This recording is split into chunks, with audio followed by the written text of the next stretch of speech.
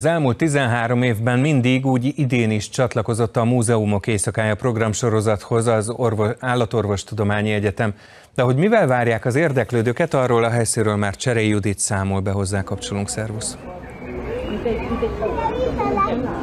Szervusz, ez bizony így van, az Állatorvostudományi Egyetemen vagyunk. Fontos azt elmondani, hogy egyébként a világ harmadik legrégebbi állatorvos képző intézményéről van szó, és ahogy itt a háttérben is lehet látni, viszony vannak itt például lovas huszárok is, mert hogy van itt huszár bemutató is, és a fegyverzetüket is meg lehet ismerni. Nagyon sokan érkeztek ide, a legkisebbeket is nagyon érdeklik ezek a hatalmas és intelligens állatok, és egyébként maga a rektor, Sótonyi Péter fogja majd élő rendőrlovakon egy előadásban megmutatni, hogy például milyen a lónak a testfelépítése, de lehet itt lovagolni is, és egyébként állatsimogató is van.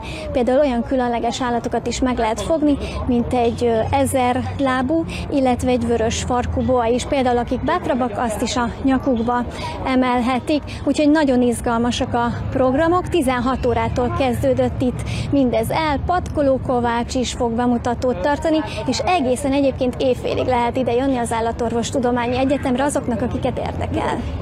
Cserei Juditnak köszönjük szépen!